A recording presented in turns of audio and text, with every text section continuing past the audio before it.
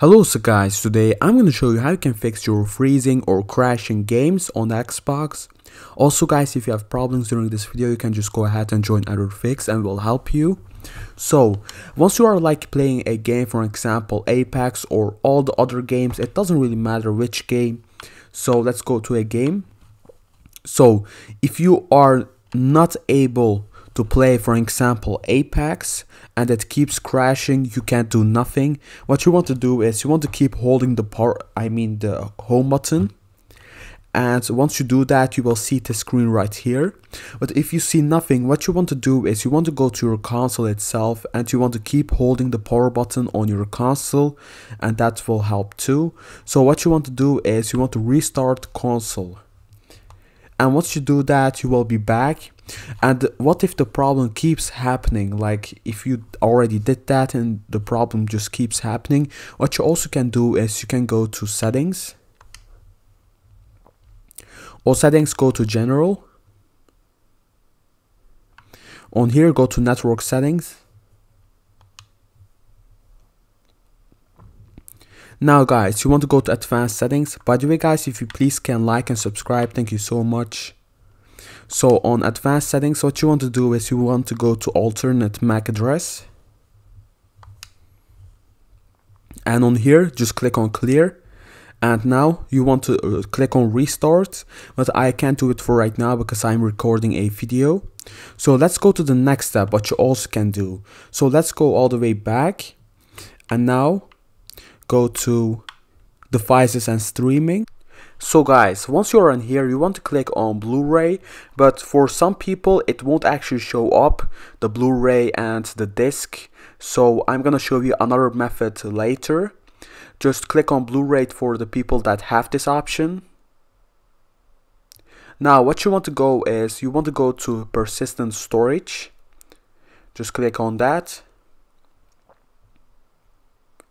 Now, once you are in here, it will tell you it will just clear the cache and that's just it. You don't need to worry about it guys, it's safe to do and you won't losing like safe data or anything like that so it's all safe. So guys, this is the dirt method how you can do it. This is for the people that don't get that option to clear their cache on the Blu-ray or just don't have Blu-ray on their systems.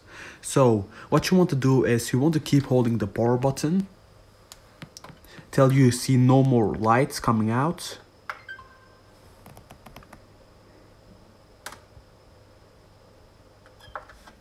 And now, once you did that, you want to go to the back of your Xbox so once you are on the back of our Xbox, what you want to do is you want to unplug everything on it. So especially the power cord itself. And also you want to turn off that big power cord over there. You can just press on the button or you can just unplug it if you want to. So once you do that, you want to wait about like two minutes or five minutes. It depends on you. But I think a minimum of just two minutes is enough so you just gotta wait about two minutes and that's it. Now, what you want to do is you want to turn on the console back again. And what we should see is, let's see, we should see a green screen. And by the way, guys, if you please can like and subscribe, thank you so much. So if you see if you see this, you know that you did it correctly and that so what if all of these methods didn't work out for you? What you can also try is you want to press on the home button. On the home button you want to go to my games and apps. Click on see all. Now if you have a problem on Apex or for example Minecraft, what you need to do is you want to go to the game itself and on the game itself you want, to, you want to press on start or the options button. And now you want to go to manage and game add-ons. And this will tell you a lot of things like your updates saved data and all of that. It could happen that your saved data actually got corrupted. So if your saved data got corrupted what you want to do is you want to delete that. And how do you know that it's corrupted you know that by maybe like starting your minecraft server that one server and it doesn't load up or it keeps crashing that means that that one is crashed. So what you want to do is you want to delete the latest file. Don't delete all of it but if you have a lot of corrupted files you want to just delete it all because you won't be able to play your minecraft servers again. And this is for all the other games too now, what you also can do is the next method going to manage. On manage, you want to go to manage storage.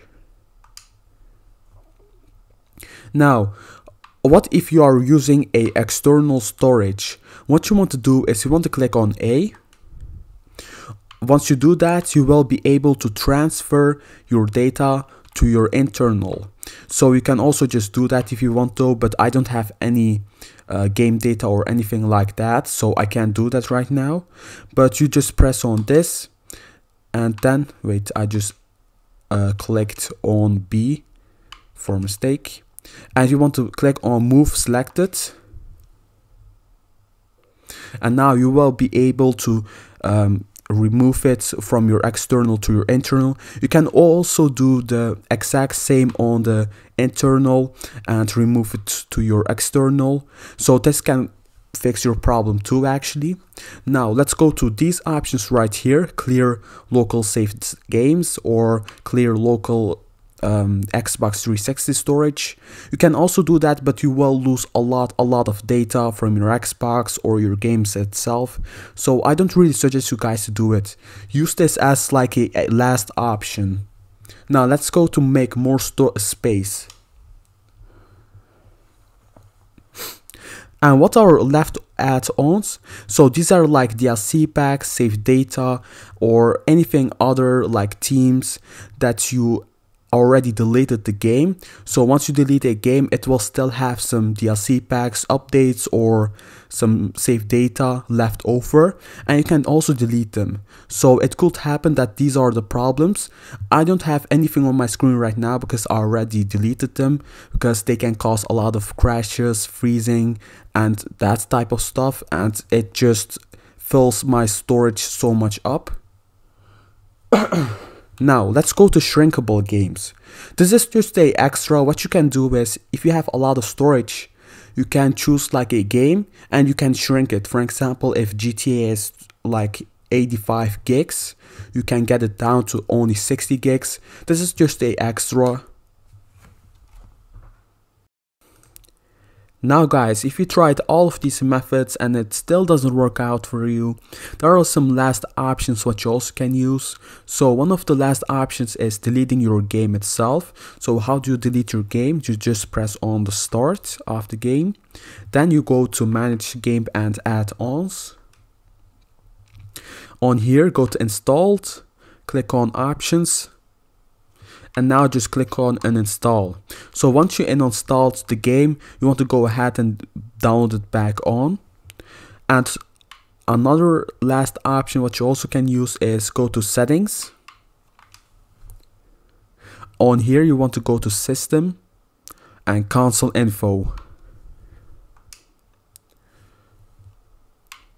Go to reset console and on here it will tell you are you sure you want to reset your console? And you can do two options reset and remove everything or reset and keep my games and apps. So if you tried all of these methods out and it still doesn't work out you want to do reset and remove everything. What will happen is it will delete all of your saved data all of your clips all of your games and things like that. Your background will be default, everything will be default, your settings too. So we only use this as a last option. And if you want to do this and there's some like one or two safe data that you want to keep.